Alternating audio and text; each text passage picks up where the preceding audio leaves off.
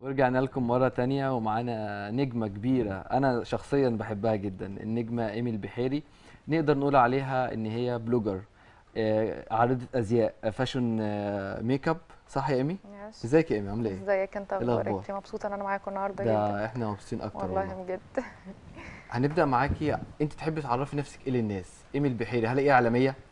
هل هي فاشونيستا؟ هل هي ممثلة؟ هل هي blogger؟ إيه؟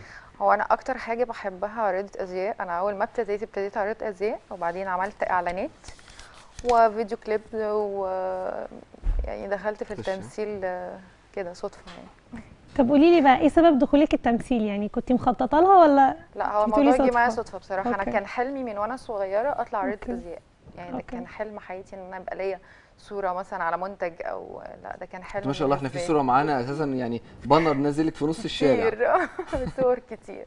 فأنا بنبسط جدا إن أنا قدرت أوصل للحاجة اللي أنا كنت بحلم بيها.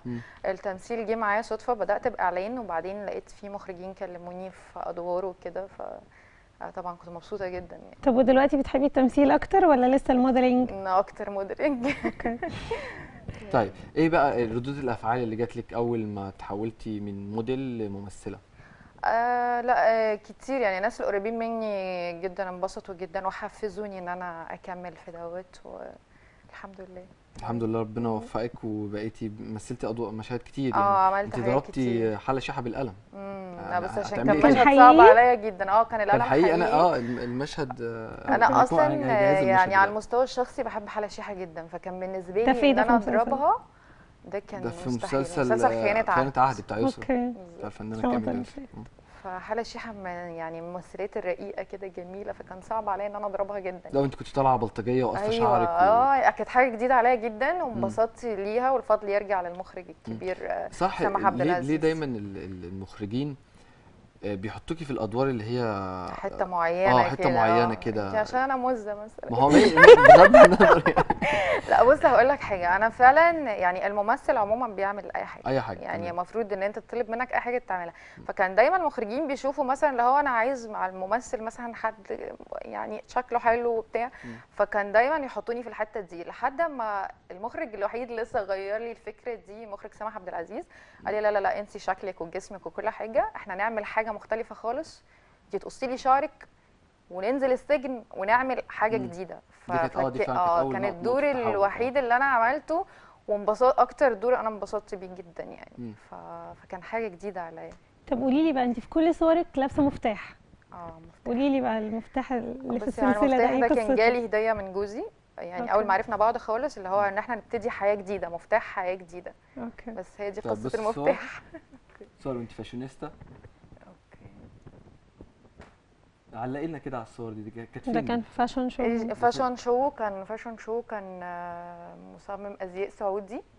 مم. okay. يعني ده إيجي ده إيجي fashion؟ fashion ده بتاع إيجي fashion العزبي. أستاذ آه. أحمد العزبي. آه. يلا يا أستاذ أحمد نعمل لك دعاية على الهوا.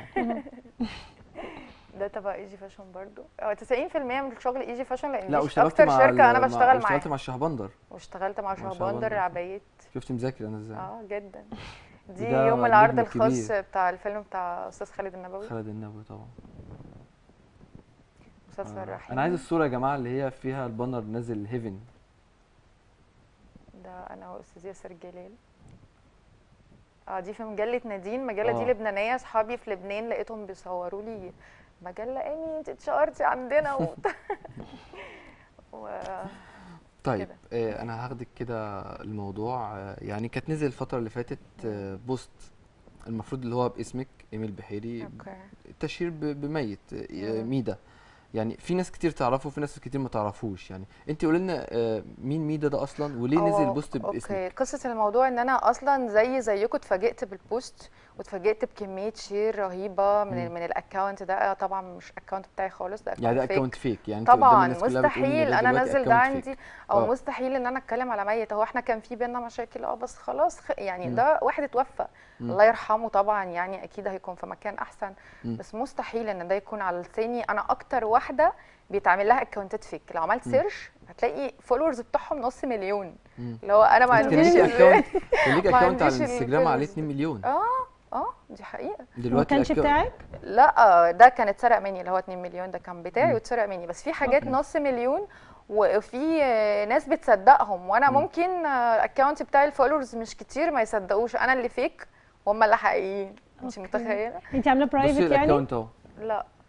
آه لا ال post ده ما يخصنيش خالص مم. مش أنا اللي عاملاه نهائي مستحيل ده ال account ال fake اللي آه وعامل نفس الصور. بتاعتي ونفس كل حاجة مم. مش أنا خالص طيب آه آخر حاجة إيه الاعمال اللي عندك إحنا عارفين إن أنت عامله كيرة مع كيرة والجن إن شاء الله قريب هعمل آه، دور في الكيرة والجن هيبقى مختلف برضو تماما عن مم. أي دور أنا عملته قبل كده.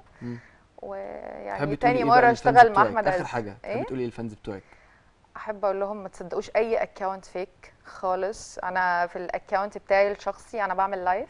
okay؟ فأي account يخش يكلمكم آه، لازم تخشوا تشوفوا هل في عنده live مباشر أو بس مباشر. ده اللي هيأكد لك إذا كان أنا أو لأ. لأن في ناس كدابين كتير وفي منهم بينصبوا على ناس و... لأ عاملين لي مشاكل بطريقة صعبة جدا يعني. إيمي البحيري إحنا بجد بنشكرك. تسلموا، نورتينا. أنا انبسطت إن أنا معاكم. آه، بجد ده شرف لينا ويا رب انت فعلا تكوني مبسوطة معانا والحلقة تكون عجبتك. انبسطت جدا وعايزة أشكر بس كريم اللي عمل لي ال make up. بصي تعبت الدعاية بقى، جداً. الدعايه اللي انت بتعمليها على الهوا. تعبت جدا كريم عمل لي make up يعني وتعبتوا معايا يعني. طيب تمام. شكرا يا أستاذ كريم. آه، في الختام آه، بنحب نشكر الساده المشاهدين على متابعين الحلقة. يعني يا رب تكون الحلقة عجبتكم. وتكونوا استفدتوا من من ال blogger اللي جت أو ال fashion designer أو الفنانة إيمي البحيري أو الفنانة التونسية آه، نانسي بالحج. نانسي بالحج نانسي بالحج صح؟ آه صح آه، بنشكركم جدا وإن شاء الله الحلقة الجاية يكون فيها فقرات أكتر إن شاء الله تنول إعجابكم